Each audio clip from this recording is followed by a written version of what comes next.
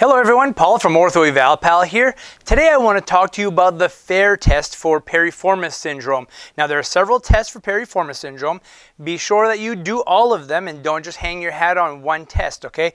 Um, and what does FAIR stand for? It's F-A-I-R, so flexion, adduction, internal rotation of the affected side, okay? So what we're going to do is we're going to take our patient and have them roll onto the unaffected side. So I'm going to have you roll that way. And then we are going to take this leg, bring the hip into the flexion, the first part of the fair, and then we are going to adduct it a little bit, let the foot stay on the leg right here, and therefore the leg is going to go into internal rotation.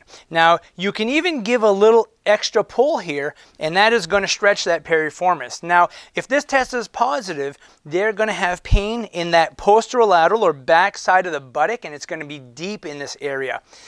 Agitating that piriformis may give you a little bit of pain going down the leg along the sciatic nerve, maybe even a little tingling in there. Um, but this is not a positive test if their pain is in the groin or in the front part of the hip.